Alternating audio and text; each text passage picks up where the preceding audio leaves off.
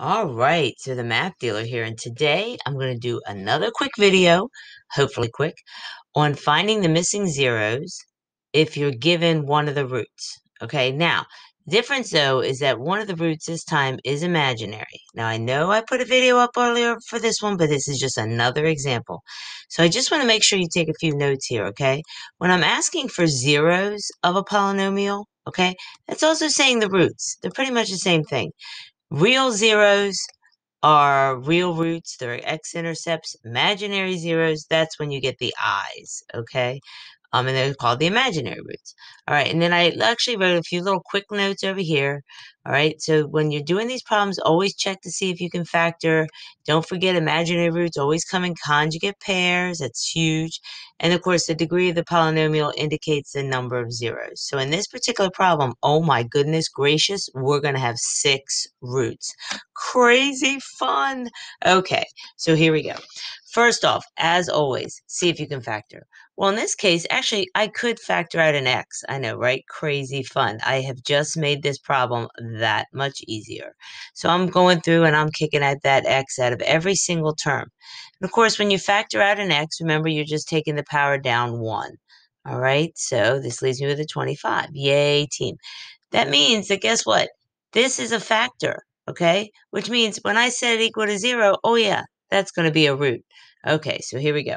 Now, take the coefficients, line them up, and of course, make sure you're not missing any terms, and I'm not, okay? There's, um, I have a 5, a 4, a 3, a 2, a 1, and of course, I have the 0. Now, over in the corner, place the 4 plus 3i. So I'm going to slide this guy over. All right, so here we go. Little synthetic action, right? Love this stuff. If you're a little shaky on this, you might want to go back and watch my other video on synthetic division. It's much slower. Here we go. Drop it, run it. We're going to drop it again. But when I drop it, remember I'm combining. Negative 8 plus 4 gives me a negative 4 plus 3i. Okay, now I'm going to multiply 4 plus 3i times negative 4 plus 3i.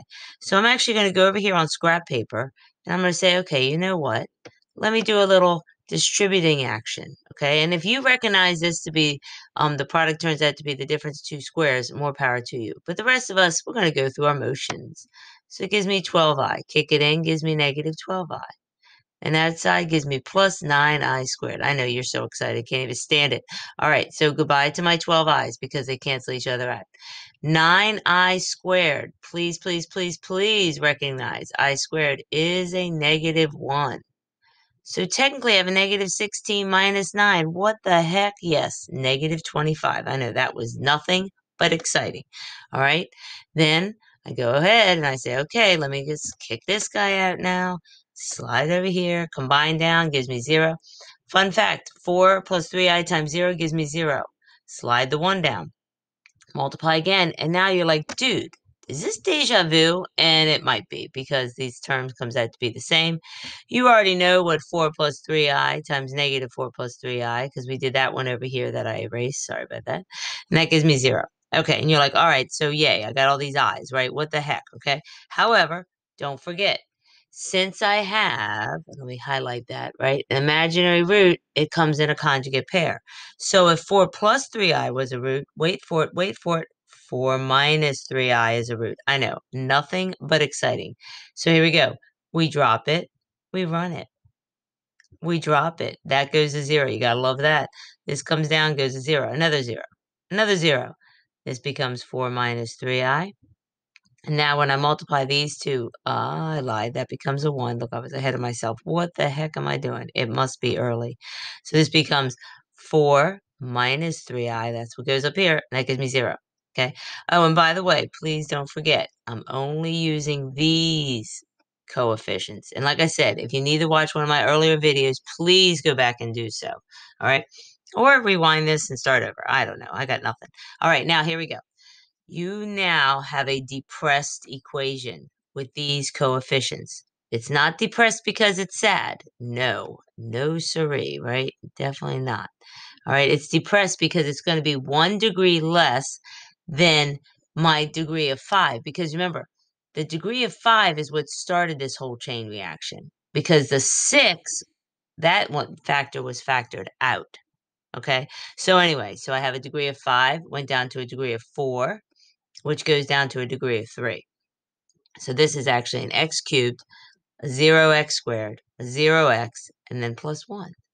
Set it equal to 0, and you might recognize this as a sum of two cubes. If you do not, please go back and look at that. All right, remember the factor a cubed plus b cubed? I've said it before. a plus b, a squared minus ab plus b squared. I know nothing but exciting. So now set each of these factors equal to 0, and life is good.